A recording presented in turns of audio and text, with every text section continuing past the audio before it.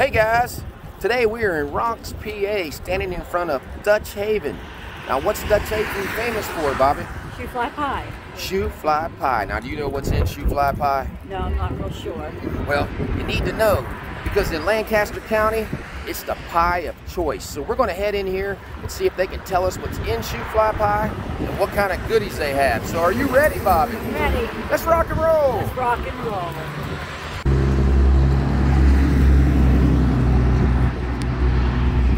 Let's head in to Dutch Haven and see their shoo-fly pie.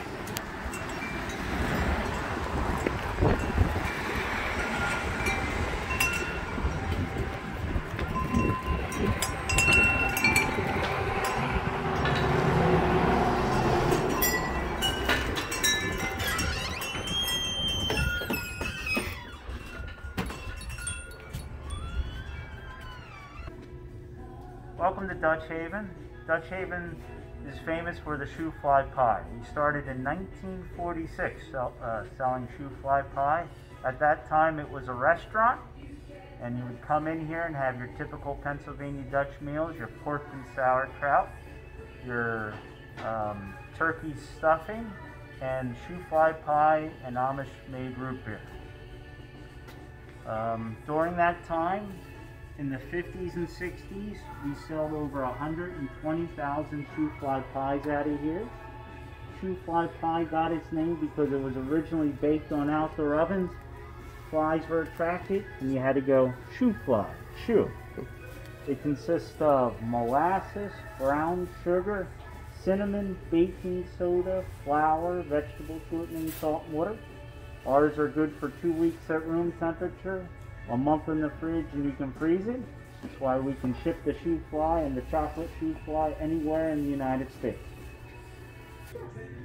So this being a restaurant, here's some of the original stuff from years ago. You know, it's still not used today. And even over there, it says family style dining. And this is the original counter.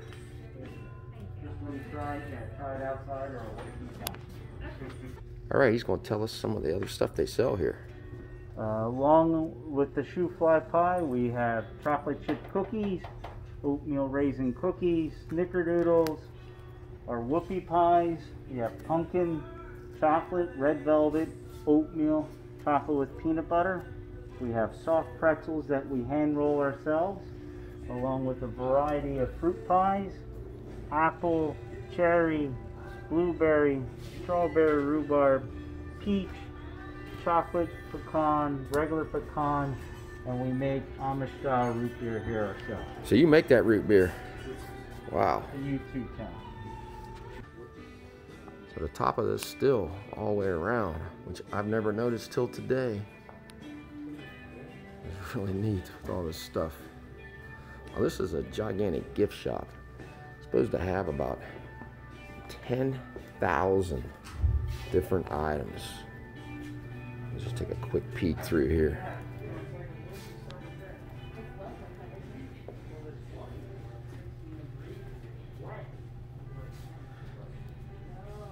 all kind of different stuff in here.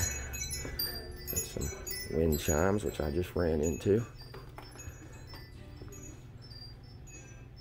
Some different signs back here. Put on the walls. Just a whole assortment of different gifts. The main thing you want to come in here for is the shoo-fly pie. You're always going to get a sample when you walk in here. Yeah, right there. There's the part of the original restaurant. That is neat. So in case you're wondering, all this stuff is made directly behind that wall in the former restaurant. That's where it's all baked at. So it's all fresh. Well, we hope you guys enjoyed that little uh, history, quick history of the Dutch Haven restaurant shoo-fly pie. Now it's time to try our shoo-fly pie. I'm not a fan of the shoo-fly, fly pie. I'm not sure why. If it's the I don't know, is it maple in there or Molasses. molasses? Not real crazy I've tried to get her to eat it. she will not try it. No. I like it. I mean, there it is. A little whipped cream. Here we go. Mm. And they give you a free sample when you go in there Mhm. to see if you'd like it. Everybody that goes in that store gets a free sample. Every single person. Everyone but me. Everyone but Bobby. he gave us two forks.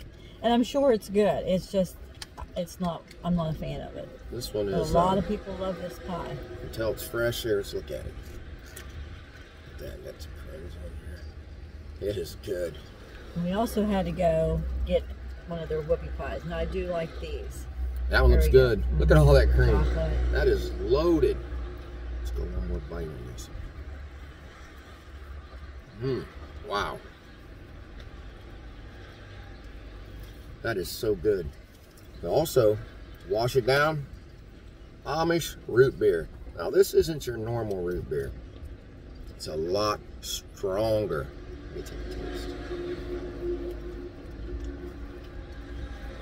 Mm.